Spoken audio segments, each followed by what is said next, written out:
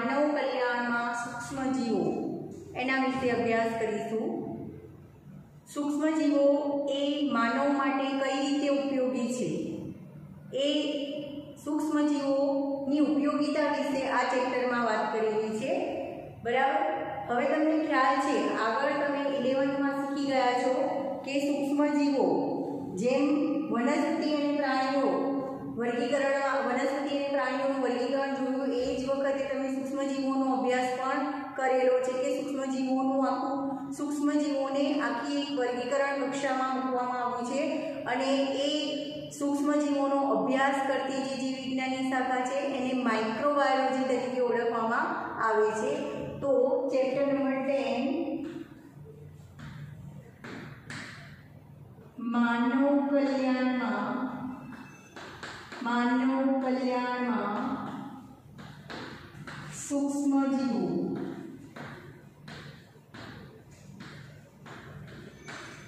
આગળ આપણે ધોરણ અગિયારમાં શીખી ગયા હતા સજીવોનું વર્ગીકરણ સજીવોને ટોટલ ત્રણ કેટેગરીમાં ડિવાઈડ કરવામાં આવી છે આમ જોવા જઈએ તો પહેલાં બે કેટેગરી એક તો વનસ્પતિ અને બીજું પ્રાણી વનસ્પતિને જે કેટેગરીમાં મૂકવામાં આવી છે એને વનસ્પતિ શાસ્ત્ર તરીકે ઓળખવામાં આવે છે એટલે કે બોટની પ્રાણીઓને જેમાં મૂકવામાં આવ્યા છે, વર્ગીકરણ કરવામાં આવ્યું છે, એને ઝુઓલોજી તરીકે ઓળખવામાં આવે છે.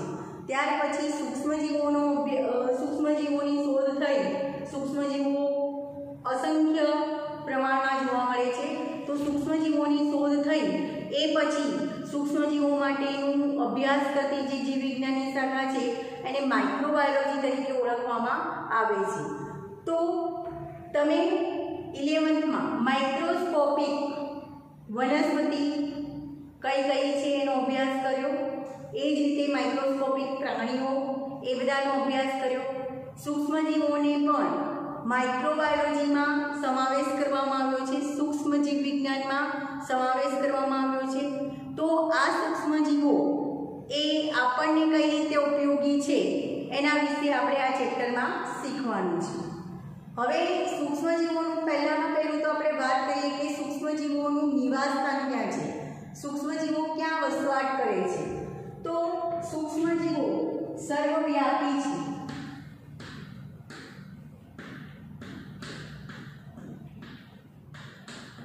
સર્વવ્યાપી એટલે બધી જ જગ્યાએ જોવા મળે છે. જેમ કે જમીન, હવા પાણી. આ બધી જગ્યાએ જોવા મળે છે. સર્વત્ર, સર્વવ્યાપી એટલે કે સૂક્ષ્મજીવો બધી જ જગ્યાએ જોવા મળે છે. જેમ કે જમીન, હવા અને પાણી બધી જગ્યાએ જોવા મળે છે. એ સિવાય કેટલાક સૂક્ષ્મજીવો માનવ શરીરમાં જોવા મળે. કેટલાક સૂક્ષ્મજીવો વનસ્પતિમાં જોવા મળે અને કેટલાક સૂક્ષ્મજીવો પ્રાણીઓમાં પણ વસવાટ કરે છે. તો ટૂંકમાં પ્રાણીઓનું નિવાસસ્થાન સૂક્ષ્મજીવોનું નિવાસસ્થાન કયું છે? અથવા સૂક્ષ્મજીવો ક્યાં વસવાટ કરે છે? તો સૂક્ષ્મજીવો સર્વવ્યાપી છે, બધી જગ્યાએ જોવા મળે છે. જમીન, હવા, પાણી, માનવમાં કેટલાક સૂક્ષ્મજીવો જોવા મળે છે. કેટલાક સૂક્ષ્મજીવો કેટલીક વનસ્પતિમાં વસવાટ કરે છે. કેટલાક સૂક્ષ્મજીવો પ્રાણીઓમાં જોવા મળે છે.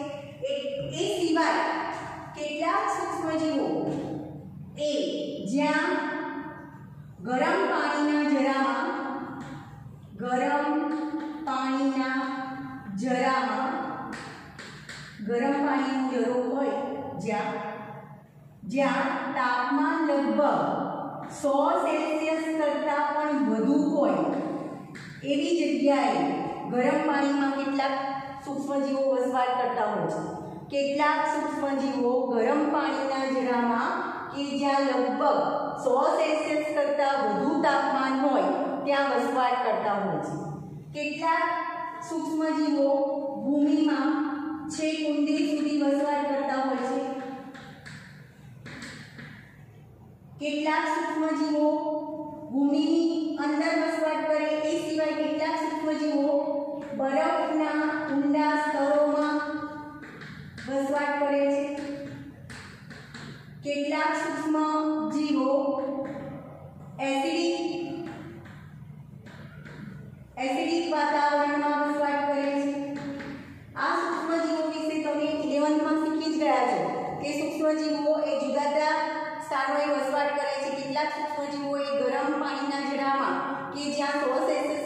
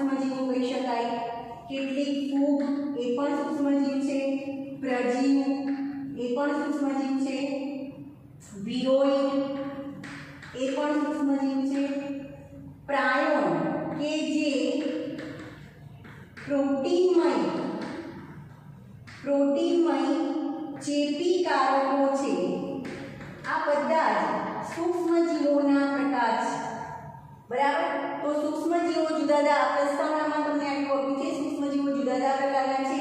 બેક્ટેરિયા, વાયરસ, ફૂગ, પ્રજીવ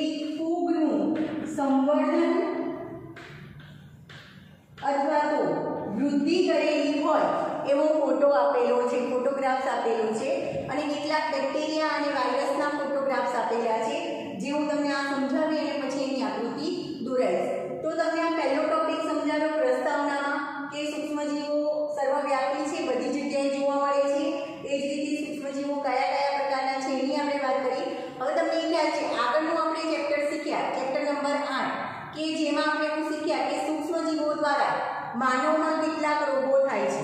ઘણા બધા સૂક્ષ્મજીવો, ઘણા બધા કેટલાક બેક્ટેરિયા કેટલાક વાયરસ એ બધાના કારણે કેટલાક માનવમાં રોગો થાય છે. જેમ કે એચઆઈવી વાયરસના કારણે એઇડ્સ રોગ થાય છે. રીનો વાયરસના કારણે શરદી થાય છે. ત્યાર પછી બેક્ટેરિયા છે. તો ન્યુમોનિયા ટાઈફોઈડ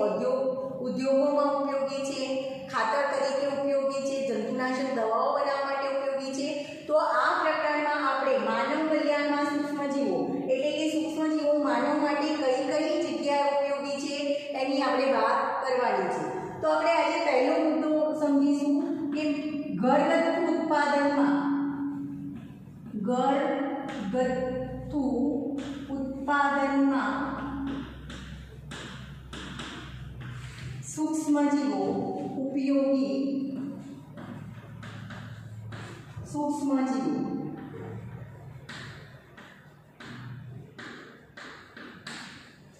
હવે તમને ખ્યાલ છે કે વર્ષોથી આપણે બેક્ટેરિયા જેવા સૂક્ષ્મજીવોનો ઉપયોગ કે એની નીપજનો ઉપયોગ ઘર ઘરમાં કોઈ વસ્તુની બનાવટ માટે કે સૂક્ષ્મજીવોને નીપજોનો ઉપયોગ આપણે કરીએ છીએ અને વર્ષોથી માનવ એનો ઉપયોગ કરતા આવ્યા છે. જેના કેટલાક ઉદાહરણ તમને ખબર જ છે. તે વસ્તુનો તમે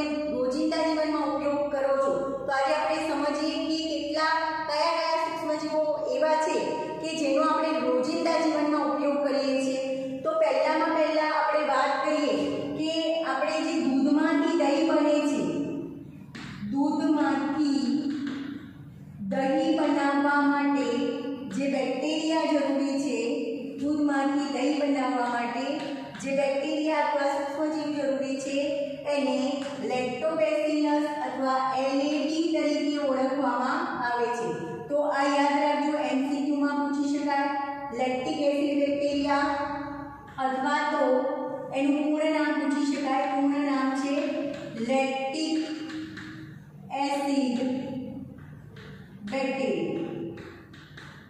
તેને લેક્ટોબેસિલસ તરીકે પણ ઓળખવામાં આવે છે. લેક્ટોબેસિલસ તરીકે પણ ઓળખવામાં આવે છે. હવે આ જે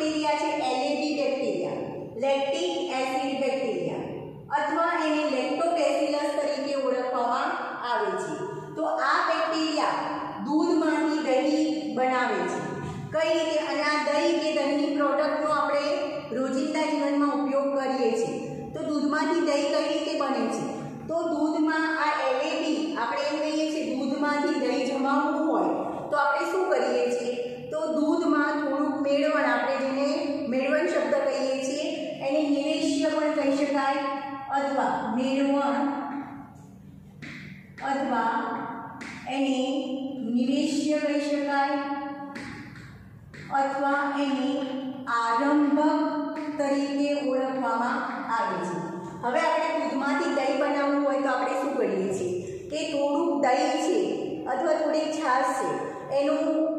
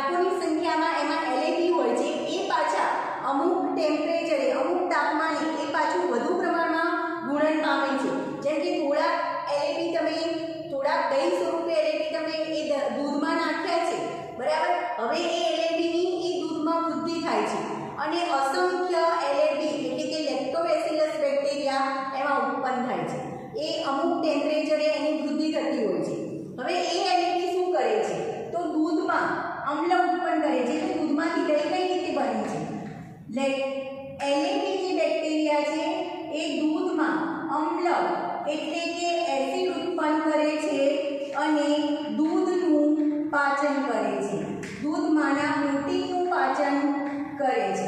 અને એના કારણે પ્રોટીનનું પાચન થવાના કારણે દૂધમાંથી દહીં બને છે.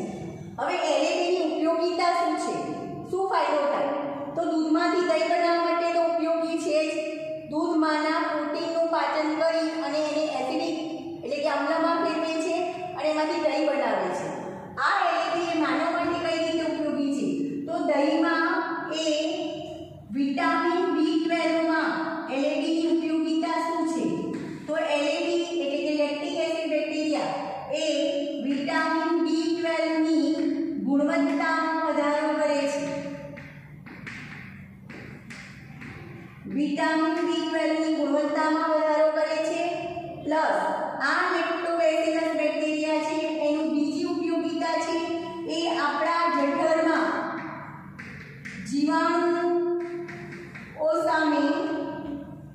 જીવાણુઓ સામે અથવા જીવાણુનાશક તરીકે કાર્ય કરે છે.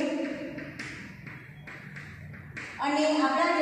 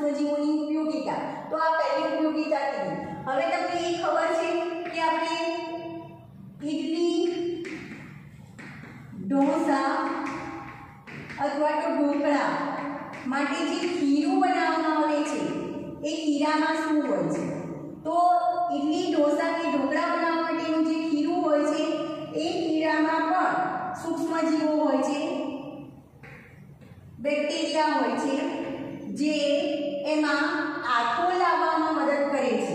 એટલે કે આવા સૂક્ષ્મજીવો એ આ ઇડલી ઢોસા કે ઢોકળા માટે પલાળેલું જે કીડું છે, એમાં આથવણની પ્રક્રિયા કરી, આથવણ પ્રક્રિયા કરી એમાં સીઓ ઉત્પન્ન કરે છે. અને સીઓ ઉત્પન્ન કરી અને જે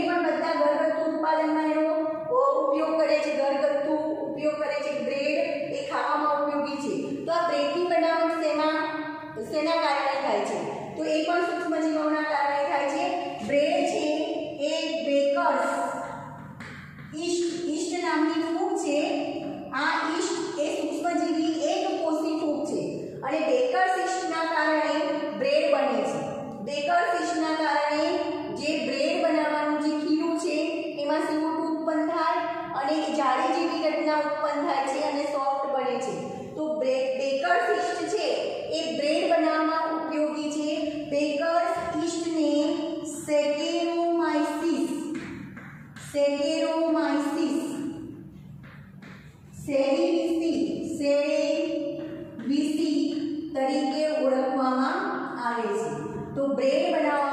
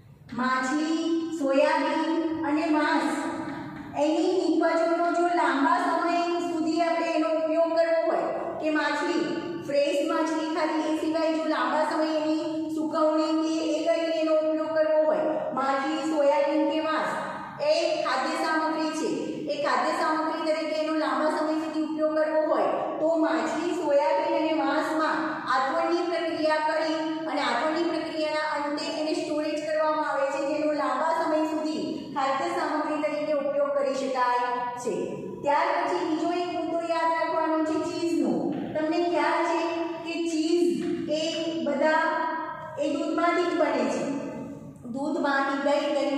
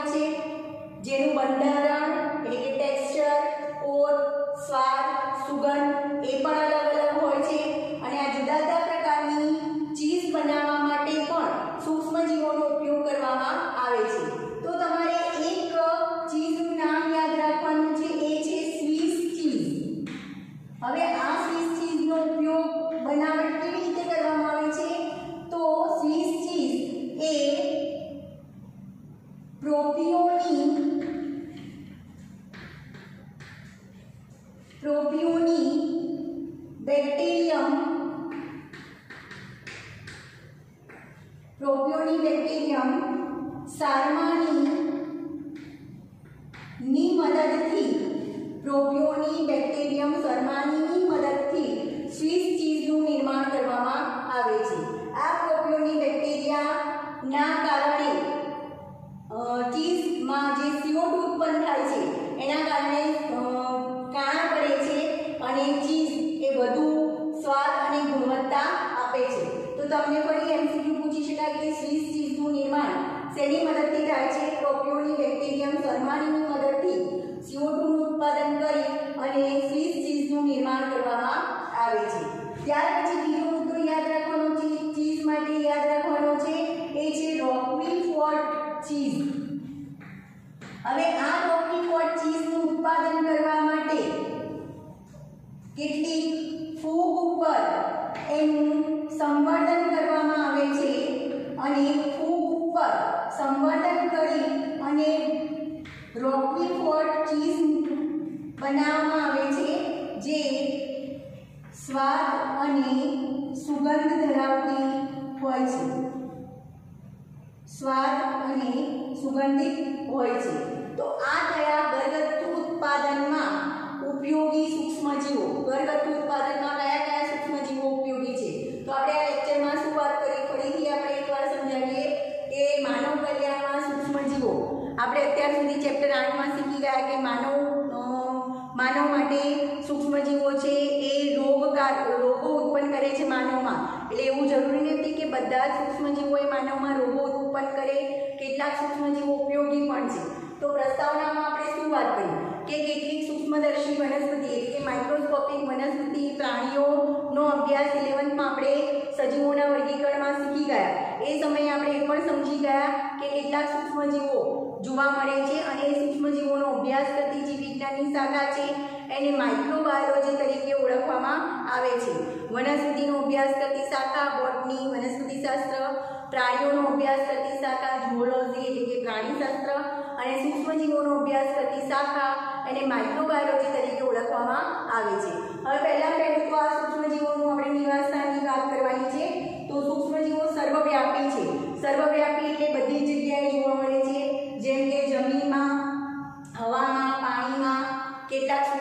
માનવમાં જોવા મળે છે. કેટલાક સૂક્ષ્મજીવો વનસ્પતિમાં અને કેટલાક સૂક્ષ્મજીવો પ્રાણીઓમાં જોવા મળે છે. આ સૂક્ષ્મજીવો હજુ પણ કેટલીક જગ્યાએ જોવા મળે છે. જેમ કે ગરમ પાણીના જરામાં જ્યાં તાપમાન લગભગ સો સેલ્સિયસ કરતાં પણ વધારે હોય છે. ત્યાં પણ કેટલાક સૂક્ષ્મજીવો જોવા મળે છે. કેટલાક સૂક્ષ્મજીવો ભૂમિમાં છે ઊંડે સીધી હોય છે. કેટલાક સૂક્ષ્મજીવો બરફના જે સ્તર હોય છે, જાડા સ્તરો, એમાં નીચે જોવા મળે છે. કેટલાક સૂક્ષ્મજીવો એસિડિક વાતાવરણમાં જોવા મળે છે, જેને એસિડોફિલસ સૂક્ષ્મજીવ તરીકે ઓળખવામાં આવે છે, જે તમે ઇલેવન્થમાં શીખી ગયા છો. આગળ, આ સૂક્ષ્મજીવો જો કયા કયા પ્રકારના છે, કયા કયા પ્રકારના સૂક્ષ્મજીવો જોવા મળે છે, એના વિશે પણ આપણે ઇલેવન્થમાં શીખી ગયા છો કે બેક્ટેરિયા અથવા તો જીવાણુ, વાયરસ, ફૂગ, પ્રજીવ, વિરોઈ, પ્રાણો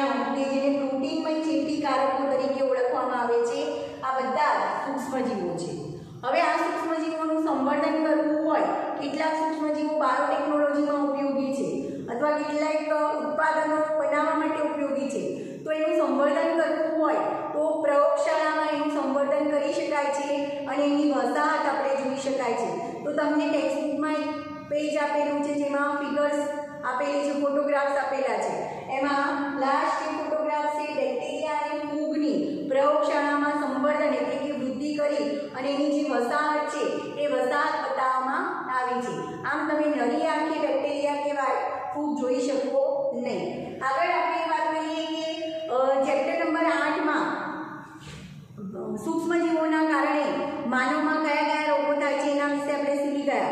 જેમ કે ટાઇફોઇડ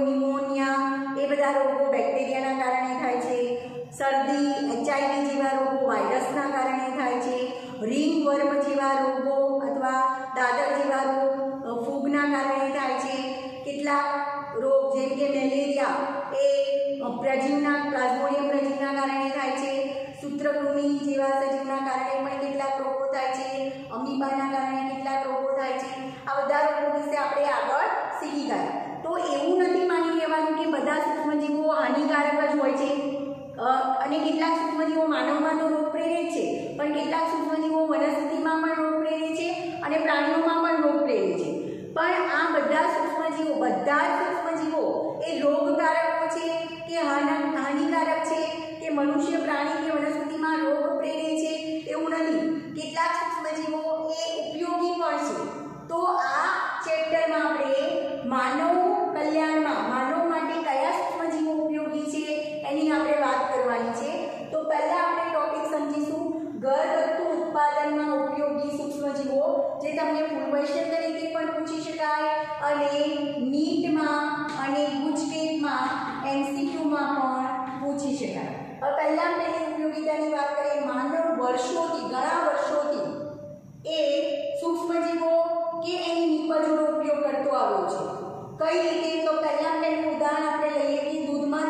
જરી બને છે.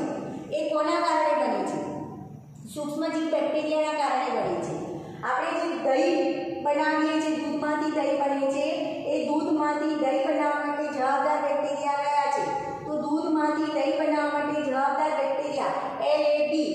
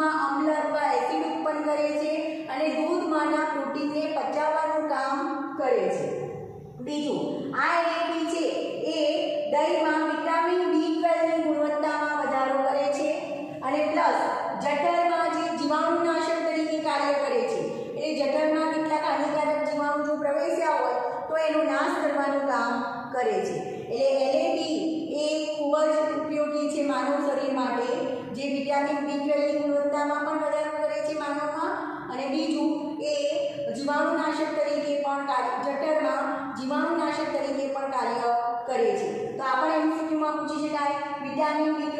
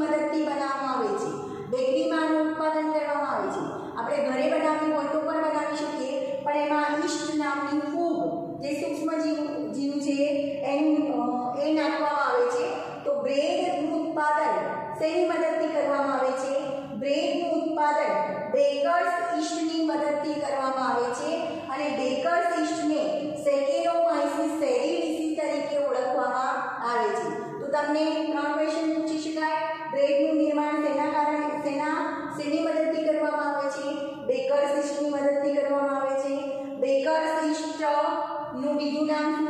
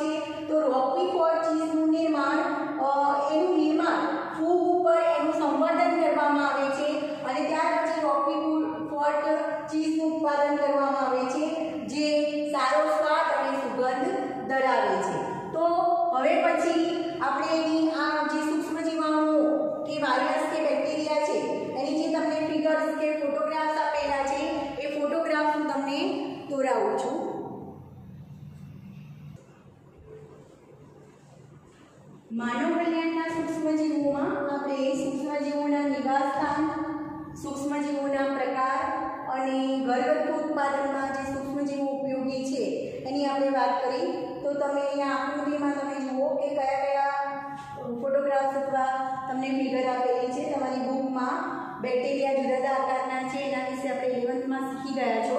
જેમ કે દંડાકાર બેક્ટેરિયા, ગોળાકાર બેક્ટેરિયા, આ દંડાકાર બેક્ટેરિયા છે.